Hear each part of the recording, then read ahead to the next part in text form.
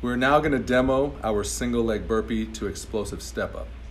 So we're finding a box here.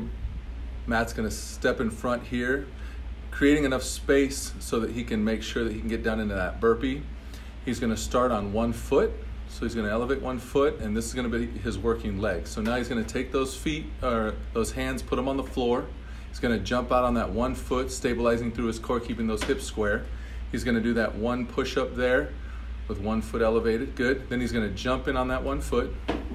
And now he's gonna step up using that working leg and he's gonna explode up off the box, landing back down on that same leg. And now he goes right back to that burpee position. Puts his hands back out, jumps out, and he's ready to do his next rep. Big explode, and right back down. Nice job, Matt.